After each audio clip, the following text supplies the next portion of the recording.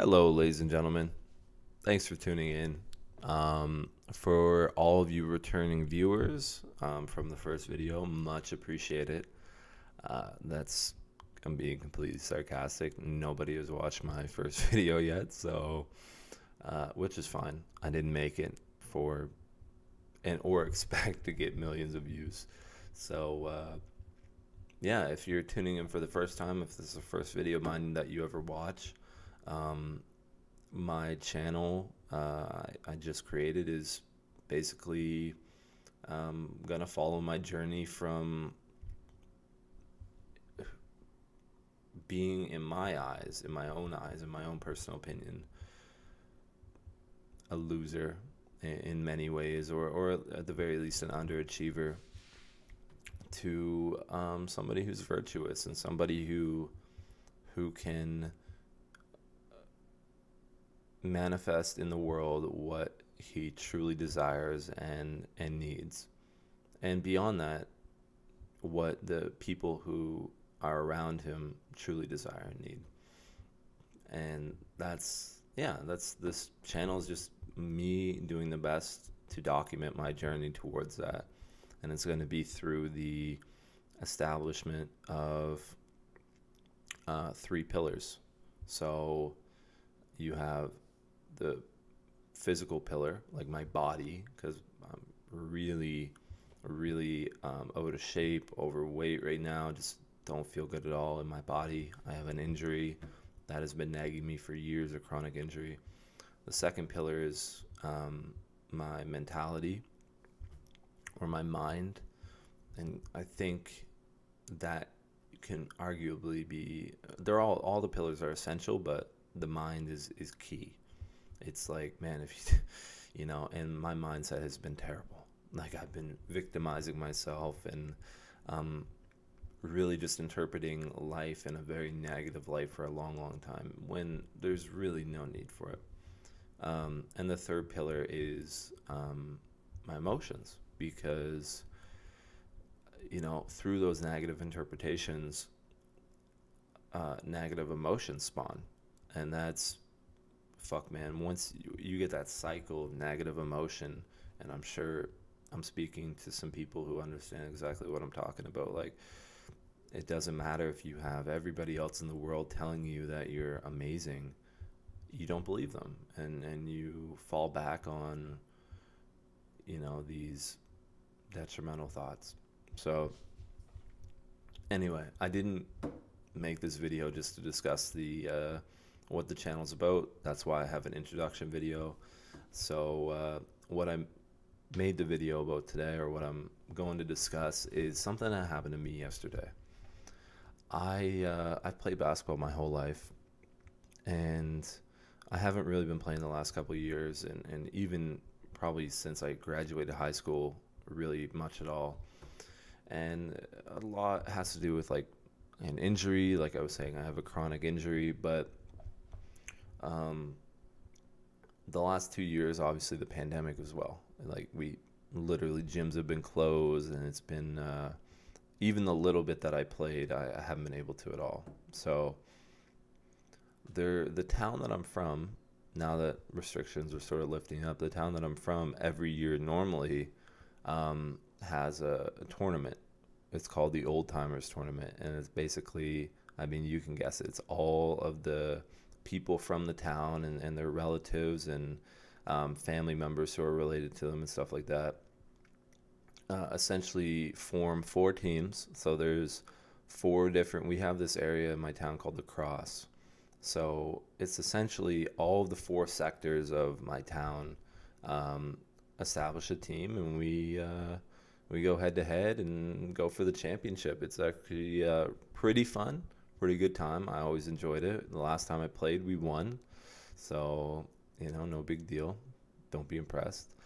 But uh, yeah, I, I was asked to play by uh, an old friend of mine who I used to play basketball with in high school. This guy's a really talented player.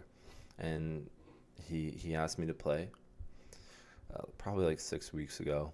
And I said to myself, you know, okay, well, you know, my body's not feeling good.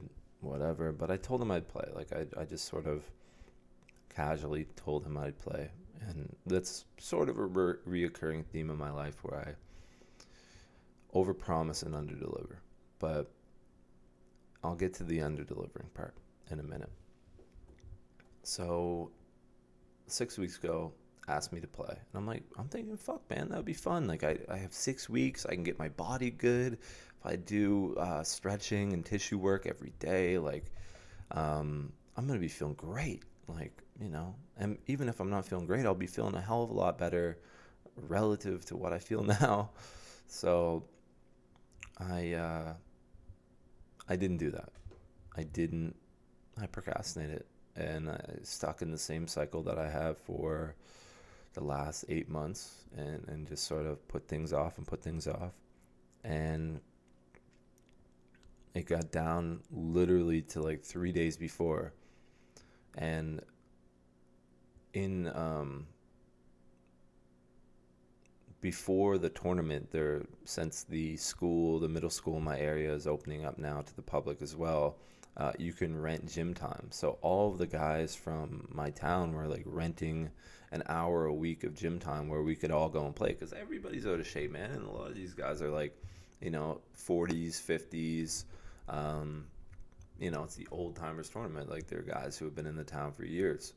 And uh, you know we i went to the first one and then I skipped the the next two before the tournament for just because I I victimized myself until oh I'm not feeling good this that oh my hip hurts you know whatever, which are true but not good reasons like true but not useful. They're not good reasons not to do something you know it's you'll feel better or I I know that I'd feel better after I played even if I was in pain because it's fun, it's enjoyable rather than laying at home and doing nothing. But anyway, I, I skipped. So the person who asked me to play a couple days before, he's like, "Man, like, are, are, you're you're playing?" I'm like, and I lied. I told him that I was feeling sick, that I had a flu, that I was, you know, tested for COVID, and that it wasn't COVID. So he didn't have to worry about that. But you know, I, I probably wasn't gonna play. And if you're watching Austin, I, am sorry that I lied. I'm sorry to everybody that I lied. Um, but one thing that I will say is the the fact that I was sick is is not true. The fact that I feel like shit mentally, physically, and emotionally, that is true. So with my interpretation of, of this event, I was, for the last six weeks, sort of slowly encroaching on the idea like, oh, if I play, I'm going to hurt myself. If I play, I'm going to feel like shit. If I play, I'm going to embarrass myself. If I play, I'm going to let the team down. All those negative emotions swirl through my head. Then physically, of course, I'm not doing the work. I'm not um, trying to stretch and, and get back to uh, a good level of physical fitness or as, or as good as it can be um, before the tournament. So I was feeling like shit. I was feeling terrible. Then on top of that, my sleep schedule is horrendous. And the night before the tournament, or excuse me, I so the tournament happened on Sunday, and our first game was at 10:30 without going in, in depth, because I don't want to make this video too long, I woke up on Saturday. This is how bad my sleep schedule was. I think I got to sleep at like 6 a.m. on Saturday morning. Slept until like, I want to say 3, maybe, no, it was like 5. It was like, it was something like that. It was something silly anyway. Uh, we'll get into that in a different video. But I uh, I didn't sleep Sunday night at all. Like, and when I say I didn't sleep, like I literally played video games all night. So I was essentially up for uh, let's see seven and then ten and a half so i was up for 17 and a half hours when the first game happened which i told him i wasn't going to play at but I, I said I'd show up. So I did. I, I just showed up and, you know, they were up by like 20. And it turns out that my buddy Austin, when I show up, it's only like, you know, the second quarter. And he's on the bench. And this is our star player, really, really good basketball player. And he's like clutching his knee. Turns out he just potentially um, tore his meniscus. And in our first game now, we're, we're blowing these guys out with our other players. But he's basically like, "Man, can you suit up?" And I'm there like sleep deprived, feeling like shit, didn't didn't want to play at all. And I'm just, you know, hadn't really I haven't been out in society very much in like the last 2 years, let alone the last 8 months like and there's so many people there and I'm getting overwhelmed. And I, I was scared and I'm just like, well, whatever, you know. Yeah, I'll, uh, they need me like I'll play. And anyway, so I got my gear. I showed back up. Even got in for a couple minutes at the end of that game. Felt like absolute shit. Like I'm talking to other people in the area that I knew from like high school um, and stuff like that, and parents of uh, those people who were like, "Hey, how are you doing?" Stuff like that, and just sort of talking, shooting the shit, whatever. And it's funny, I as as that day went on, um, even though, and that that's the moral of what I'm trying to tell in the story, and I'm fucking terribly long-winded with my story, so I apologize, but um, the moral of what I'm trying to get at is essentially I I didn't want to play. I told myself for weeks that it was not a good idea. Didn't have didn't sleep literally didn't even go to bed the night before. I pulled an all-nighter stayed up. And feeling like absolute shit barely i've barely been eating at all. Probably in the last three days i've consumed like 2000 3000 calories. I'm six foot three. Like that's anyway. So i'm just feeling terrible in all aspects. And I started to feel good when I was there, talking to people and working together with people for a common goal and doing something that I love and enjoy, playing basketball. And anyway, we ended up winning the game. I didn't attribute anything because I only played like 2 minutes. And we get to play in the championship game at 2:30 so I sort of like eat an apple and I'm kind of talking to some people for a while, and that's sort of just what I do. And I'm stretching and trying to get as limber as possible for this game because I'm I'm basically the best player on our team. So I, I if I don't perform, like we're not gonna win. And surprise, surprise, we didn't win. We got smoked. the The other team was really good. They they have a lot of good players, and we had like seven players, and our star player um, is literally sitting in O patients trying to see if he has a torn meniscus. So we didn't even win. But, and I was fucking dying out there. I literally had two, uh, both my calves were cramping. I couldn't, um, I literally couldn't run. It was actually hilarious.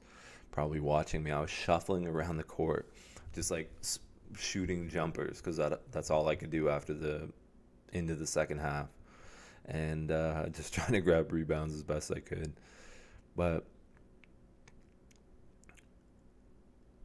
I had so much fun. Like like all of those things that I told myself were false. It, it, it was, and it seemed so simple. Like, yeah, of course you had fun. Man, You're playing basketball with friends, whatever. But when you're so mentally toxic to yourself and your self talk is so bad, you don't see the light at the end of the tunnel and you don't imagine that such an amazing feeling can come from such a dismal looking time. And I just remember my body like I've worked and played basketball and played sports, and I, I'm strong, man. Like, but my body hasn't felt strong for a long, long time because I've been uh, procrastinating and I've I haven't been training and I've been running away from hard things. But I'm so thankful yesterday that I dove into something that was scary. You know, I it's sometimes you need a little catapult. Sometimes you need a little push. And the first video I made in this channel was meant to be that video to initiate the progress, right?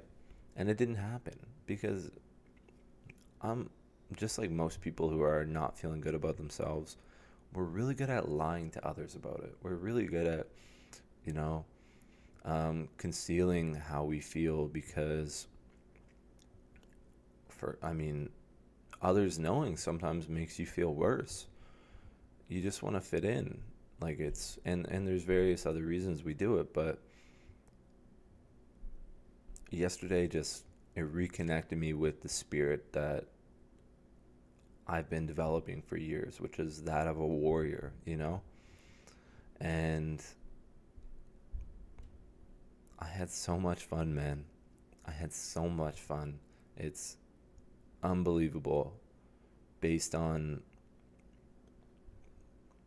you know if you looked at that from a bullet point perspective like you give me all the bullet points like hasn't played basketball in two years um, hasn't slept in uh, 24 hours like is completely out of shape um, mentally weak uh, all these different things emotionally damaged like or emotionally drained, like all these different things, and then has to play two grueling games of basketball. It's like, how could that be fun? And it, it didn't feel good. It, I was in pain, man. I was gasping for air. I was stepping outside to get fucking the wind blow over my face. But it was so fun. It was so fun. And anyway, I just wanted to I just wanted to talk about that and just get that off my mind while the story's fresh and and I think that I think that we all can learn a lot from diving into something that is scary because oftentimes it's the fear isn't an inherent quality of what we're experiencing it's a an interpretation that we have. There isn't, you know, yeah, fighting a bear that is scary. Whether or not you interpret it as scary or not, that that shit's wild. But in civil society, there's so many things that we're scared of that we have no reason to be. And I'm speaking for myself when I say that. And I, I'm just looking forward I'm looking forward to tracking my progress on this channel. Um, in the upcoming days, I'm going to. So today, actually, I woke up at 5 a.m. Man, I fucking. Of course, I passed out last night when I came home, super early. I'm gonna start waking up at 5 a.m. You guys can see the window in the background. Um, the sun is rising, um, and yeah, we're gonna start grinding. Um, I'm gonna start grinding. And it's it's gonna be really fun. It's gonna be really hard, but I'm okay with that.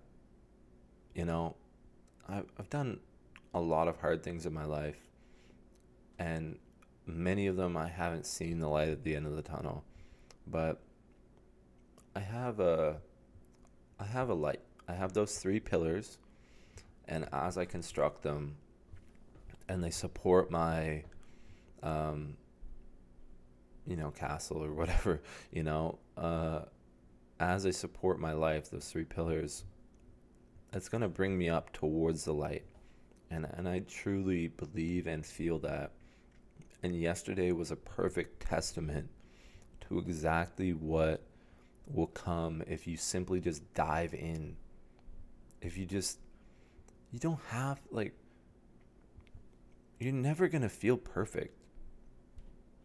and often you're gonna feel like shit. Like we live in in this world where comfort is a fleeting resource. Like it's not, you know, and and oftentimes it's deceptive comfort, right? Like you eat a donut and it's two seconds of mouth pleasure for two hours of a bellyache, you know. So I'm gonna start diving into the things that are rewarding in the long run, and essentially that's gonna include. I'm just gonna go quick. I'm already 20 minutes into this video um, because my storytelling needs some work. But I uh, I'm going to quickly um, examine what I'm going to be making videos about. So over the next, I mean, the rest of my life, but especially the next like four to six months, I'm going to be making a body transformation video. So I'm going to be doing calisthenics and other forms of exercise, and we're going to be tracking. I'm going to be tracking the um, progress of just my body development, going from slightly overweight, I, yeah, slightly overweight and uh, out of shape for sure, to we'll see, you know, whatever. On top of that, um, I'm going to be doing a tissue work program that I actually bought a couple years ago, and I'm going to be um, talking about the chronic injury that I have and, and if I receive any benefit from that um, program. So that's going to be another series. Then another, even another series I talked about in my introduction video. I'm going to be doing a teeth, um, I guess, facial uh, development series. So I have, you guys can probably see there's like a appliance in my mouth as we speak. That's why I have like a little bit of a lisp. And that uh, I'll get into that obviously more in that series, but um, very quickly, if you look up mewing, M E W I N G, that will give you a little sneak peek or really a great idea of what I'm going to do with my with my teeth because for the right now um, they don't touch, and that's called an anterior open bite. Had that for many years, and the only other option um, besides um, mewing or orthotropic um, orthotropics is having surgery, and I don't want to do that. I don't think that's necessary. So another series I'm going to be doing is. Uh, um, talking about relationships and what I've done wrong in relationships recently. One of the main reasons that I'm so emotionally battered right now is because I've I've been in a relationship with someone who I dearly dearly care about and love and I've truly let that person down. And I beat myself up about that. And I'm to I'm to see what I can do about that. But who knows, man.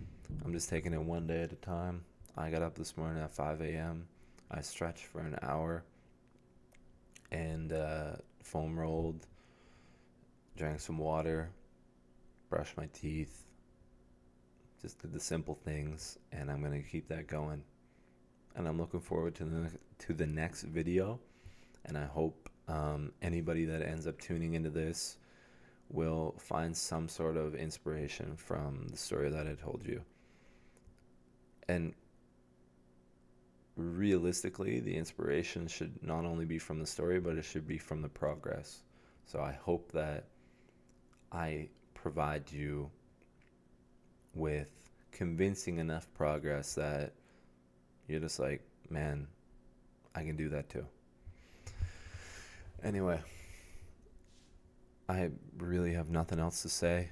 I'm just looking forward to the rest of the day and uh, I'm going to get some stuff done. So I hope everybody else has a good day, and thanks for tuning in.